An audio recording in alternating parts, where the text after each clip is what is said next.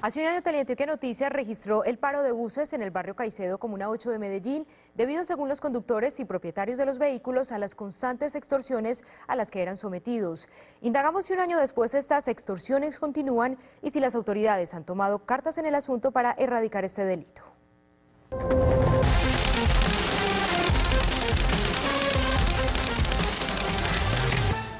Nuevo paro de buses afectó durante toda la mañana a los habitantes del barrio Caicedo. Los conductores cesaron actividades por el cobro de otra extorsión. Según se conoció, este lugar que conecta la calle 54 con la carrera 12, conocida popularmente como Los Charcos, es donde personas armadas los esperan para extorsionarlos.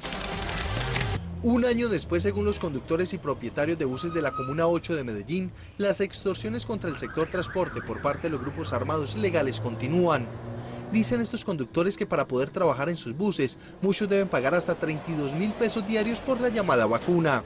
Estamos hablando un promedio de, mensual de unos 800, un millón de pesos, anuales estamos hablando por ahí de 12 millones de pesos, que realmente pues a uno como, como conductor o propietario no, pues, no lo deja tener vida ni poder sacar un carro adelante o poder subsistir acá.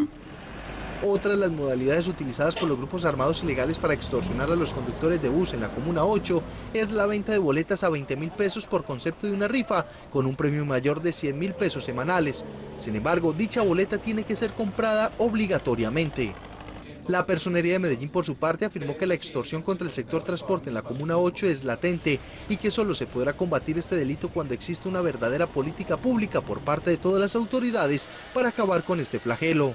Lo primero es denunciar, todo este tipo de delitos hay que denunciar, este tipo de delito hay que denunciar a las autoridades competentes, en este caso como es la Fiscalía General de la Nación. Otra cosa piensa la Secretaría de Seguridad de Medellín frente a las llamadas vacunas en la Comuna 8 de la ciudad.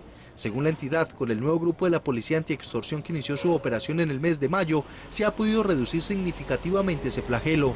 Hace un mes se produjo la captura de cuatro personas en la terminal de Villatina, que eran personas que estaban dedicadas precisamente a la extorsión de los conductores en este sector de la ciudad.